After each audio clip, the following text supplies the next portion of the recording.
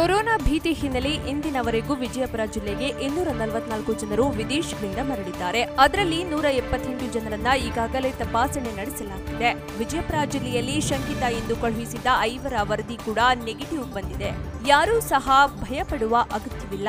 Virus ಹರಡದಂತೆ ಮುನ್ನೆಚ್ಚರಿಕಾ ಕ್ರಮಗಳನ್ನ ತೆಗೆದುಕೊಳ್ಳಲಾಗಿದೆ ಎಂದು ಜಿಲ್ಲಾಧಿಕಾರಿ ಪಾಟೀಲ್ ತಿಳಿಸಿದ್ದಾರೆ.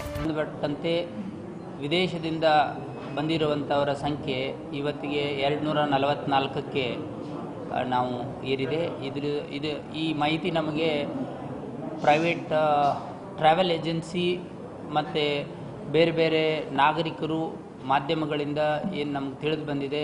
ನಾವು ಸರ್ವೆಲೆನ್ಸ್ ಟೀಮ್ ಮತ್ತು ಸ್ಪೆಷಲ್ ಟೀಮ್ ಮಾಡಿರೋದ್ರಿಂದ ಈ ಮಾಹಿತಿಗಳನ್ನು ನಾವೆಲ್ಲ ಕ್ರೋಢೀಕರಿಸಿ ಆ ಮಾಹಿತಿಗಳನ್ನು ತಗೊಂಡು ಅವರ ಅಡ್ರೆಸ್ಗಳನ್ನು ಫೈಂಡ್ ಔಟ್ ಮಾಡಿ ಆ ಸಂಬಂಧಿಸಿದಂತೆ ಪ್ರತಿ ವಿದೇಶದಿಂದ ಬಂದಂಥ ಪ್ರತಿ ಪ ಮನೆಗೂ ಸಹಿತ ಆರೋಗ್ಯ ಸಿಬ್ಬಂದಿಯನ್ನು ಹಾಕುವುದಷ್ಟೇ ಅಲ್ಲದೆ ಇವತ್ತಿನಿಂದ ನಾವು ಪೊಲೀಸ್ ಸಿಬ್ಬಂದಿಯನ್ನು ಸಹಿತ ಅಲ್ಲಿ ಹಾಕೋದಕ್ಕೆ ವ್ಯವಸ್ಥೆ ಮಾಡ್ತಾ ಇದ್ದೀವಿ. ಅಂದರೆ ಅವರು ಗಾಬರಿ ಪಡುವಂಥದ್ದು ಸಾರ್ವಜನಿಕರ ಅವಶ್ಯಕತೆ ಇಲ್ಲ.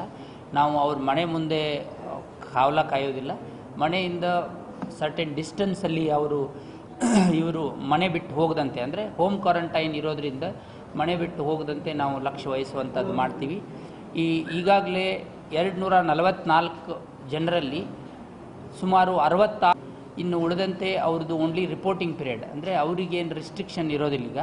ಉಳಿದಂತೆ ಒಂದೂರ ಎಪ್ಪತ್ತೆಂಟು ಜನಕ್ಕೆ ಸಂಬಂಧಪಟ್ಟಂಗೆ ಅವ್ರನ್ನ ನಾವು ಹೋಮ್ ಕ್ವಾರಂಟೈನಲ್ಲಿ ಅವ್ರ ಅಬ್ಸರ್ವೇಷನಲ್ಲಿ ಇಟ್ಟಿದ್ದೀವಿ.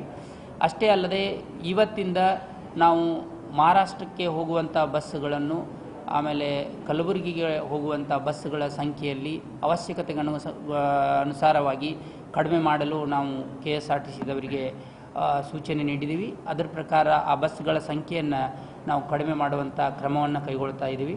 ಅಷ್ಟೇ ಅಲ್ಲದೆ ನಮ್ಮ ಜಿಲ್ಲೆಯಿಂದ ಹೊರಗಡೆ ಹೋಗುವಂಥ ಬಸ್ಗಳು ಮತ್ತು ಅಲ್ಲಿಂದ ಬರುವಂಥ ಬಸ್ಗಳನ್ನು ಸ್ಯಾನಿಟೈಸೇಷನ್ ಮಾಡೋದು ಏನು ಕ್ರಮ ಇದೆ, ಅದರ ಕುರಿತನೂ ಸಹಿತ ನಾವು ಕಟ್ಟುನಿಟ್ಟಿನ ಕ್ರಮ ಕೈಗೊಳ್ತಾ ಇದ್ದೀವಿ. ಮಹಾರಾಷ್ಟ್ರ ಹಾಗೂ ಕಲಬುರಗಿಗೆ ತೆರಳುವ ಬಸ್ಗಳ ಸಂಖ್ಯೆಯನ್ನ ಅವಶ್ಯಕತೆಗೆ ಅನುಸಾರವಾಗಿ ಕಡಿಮೆ ಮಾಡಲು ಕ್ರಮ ತೆಗೆದುಕೊಳ್ಳಲಾಗಿದೆ. ಜಿಲ್ಲೆಗೆ ಬರುವ ಮತ್ತು ಇಲ್ಲಿಂದ ಹೋಗುವ ಬಸ್ಗಳ ಮೇಲೆ ನಿಗಾ ವಹಿಸಲಾಗಿದೆ ಎಂದು ತಿಳಿಸಿದ್ದಾರೆ.